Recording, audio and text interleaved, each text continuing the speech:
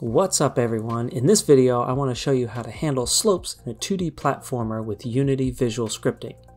So I already have a player controller set up for movement, and a few sprites set up for the ground. And here you can see the player is sliding, and we're going to dive in and try to fix that. This setup is using the built-in Rigid Body 2D component, with which we will be swapping out the friction material. So first we are going to get those set up.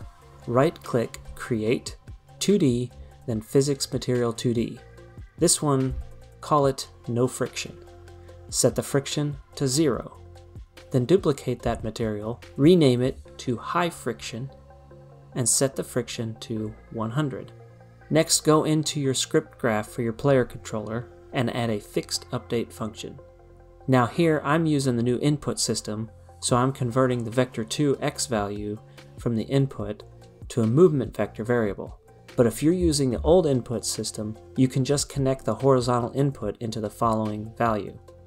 So we just take the horizontal movement input and check to see if it's not equal to zero. In other words, checking to see if the player is moving or not. Add an if node to check if the player is moving is true. Next, add a rigid body 2D set shared material node. Then set the material to no friction and if it's false, we will set the material to high friction. Now we can test and see if this works. See? It works. Very simple. So that's pretty much it. Now I know this seems like a very simple setup, and I find it kind of crazy that I spent so much time racking my brain trying to figure this out. Well, let me tell you why, since one solution doesn't fit all scenarios in game development. In my case, I had to consider my player getting a knockback when damaged.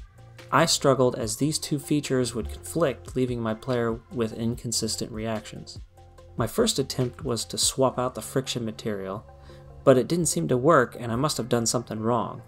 So I went with constraining the rigid body when the player wasn't moving, which seemed to work most of the time. However, after my last devlog, I got a few suggestions about how to fix this and I revisited the friction material solution.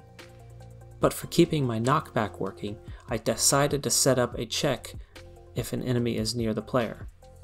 With the update function, I use a circle cast with a radius of 5 with the layer mask set to enemy, which then sets a bool variable to true or false if the enemy is near.